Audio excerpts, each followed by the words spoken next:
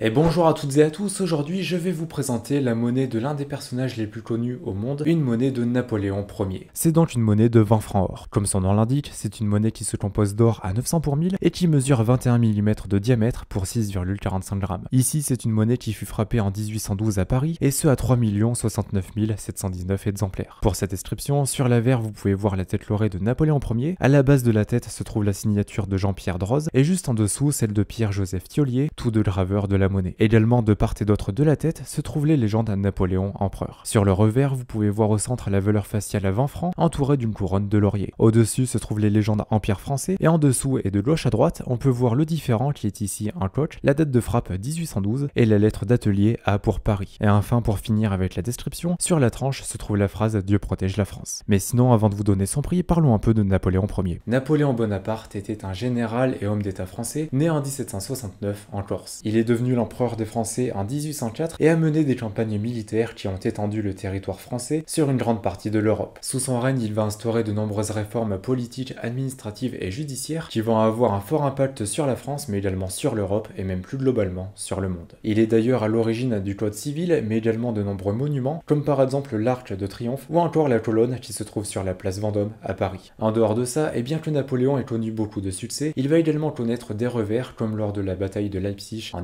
1813 ou encore lors de la bataille de Waterloo en 1815. C'est d'ailleurs cette dernière qui va mettre un terme à son règne et qui va l'envoyer en exil sur l'île de Sainte-Hélène. Mais si on en revient à cette monnaie, pour acquérir cet exemplaire, il fallait compter 520 euros. Sur ce, n'oubliez pas de liker et de vous abonner, et aussi vous retrouverez le lien de ma boutique dans la description. D'ailleurs, les offres du Black Friday se terminent ce soir, donc n'attendez plus. Mais sinon, marquez Napoléon dans les commentaires, et je vous dis à dimanche prochain.